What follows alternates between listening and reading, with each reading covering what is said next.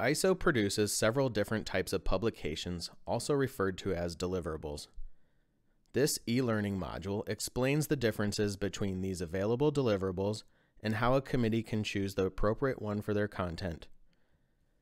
Today we will focus mainly on international standards, technical specifications, publicly available specifications, and technical reports. We will also talk briefly about guides and international workshop agreements. As we get into further detail about each deliverable type, let's first make a distinction between normative and informative documents.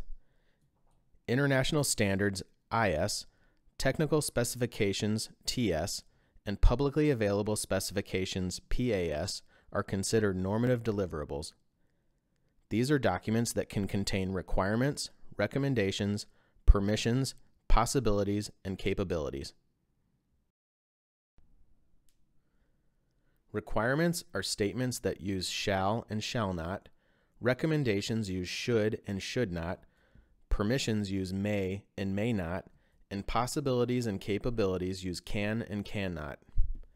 It's worth mentioning here that a document that only uses recommendations, typically known as guidelines or guidance, is also considered a normative document, whether it's in the form of an international standard, technical specification, or publicly available specification.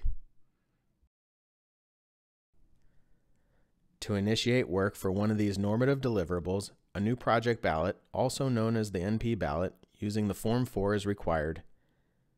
This applies to a brand new proposal or to a revision of an existing publication where a scope expansion is requested. For revisions of a normative deliverable where the scope is not expanded, a committee resolution is sufficient to move forward. Normative documents also have to be developed within 18 24, 36, or 48 months. Please note, however, that starting in May 2020, the 48 month development timeframe will not be available.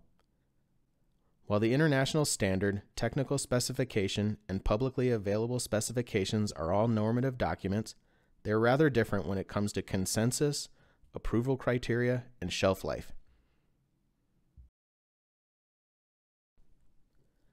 Let's focus on international standards for a moment. These documents require the highest level of consensus for publication.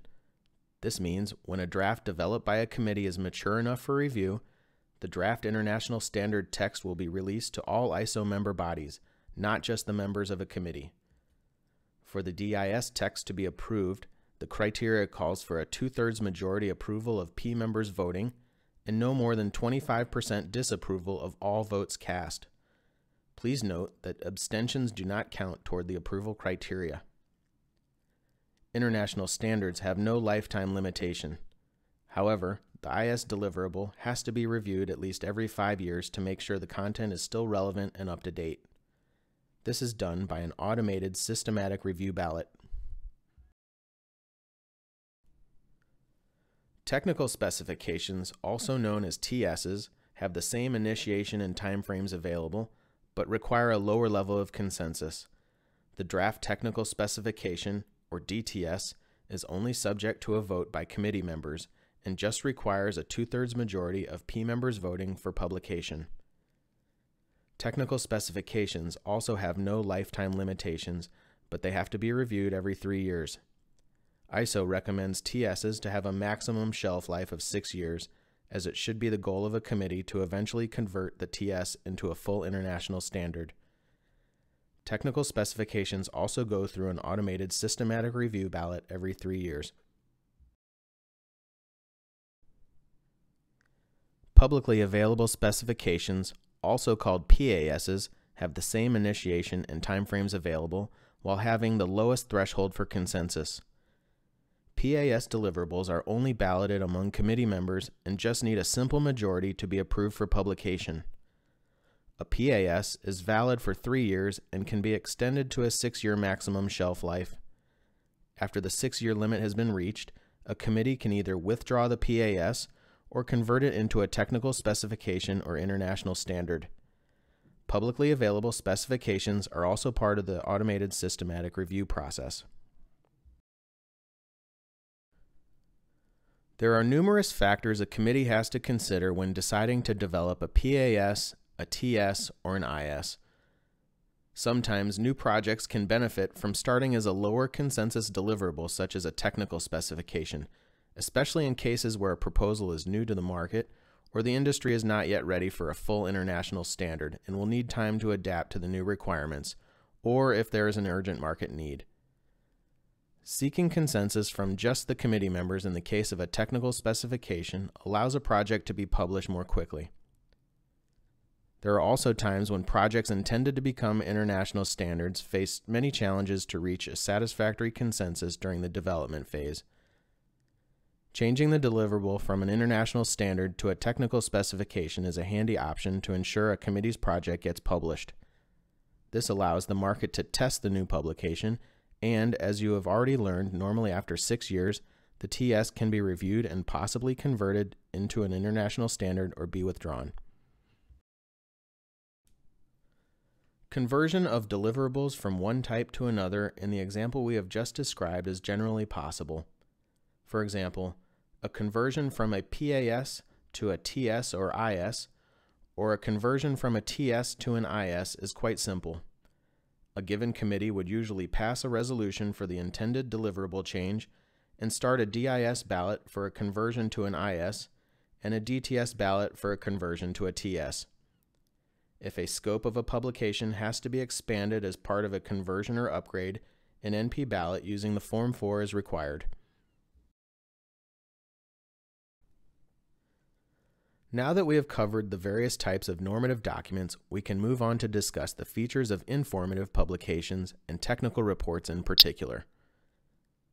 Unlike the PAS, TS, and IS, technical reports contain no requirements.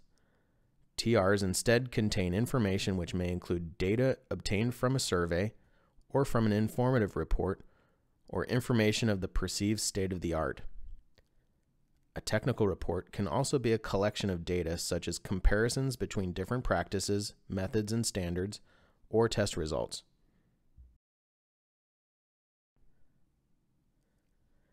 TRs do not need a Form 4 new project proposal to be started. A committee resolution is sufficient. While technical reports do not have a restricted development timeframe, they should take no longer than three years to produce. The consensus level for technical reports is the same as a PAS.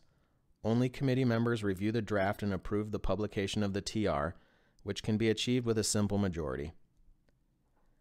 Technical reports are considered to be a static deliverable as they only contain information. They do not have a specific life limit.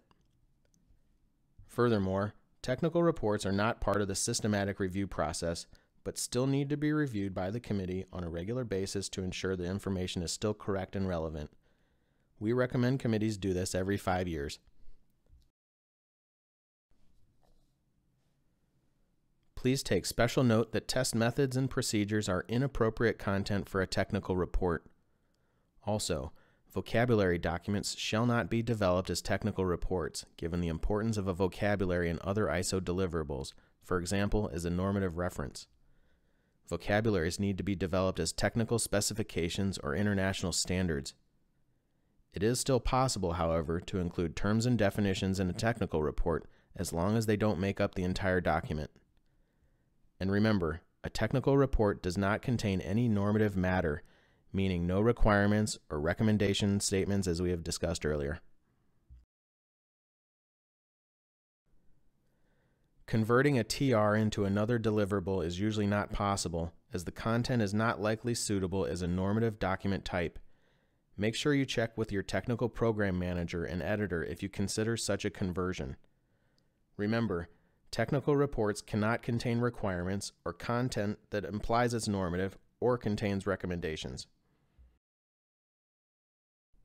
Here is a summary of all the deliverables we have described so far. Depending on the complexity of your document and the time and human resources available in your committee, you have several options to work with.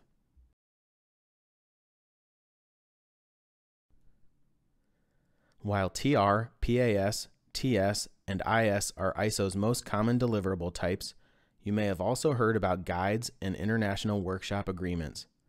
These do not fit into the categories we just discussed. Guides, not to be confused with guidance or guidelines, can only be developed by ISO and IEC at an organizational level, not at a technical committee level.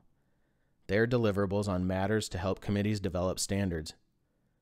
More information on guides can be found in Annex A of the ISO IEC Directives Part 1.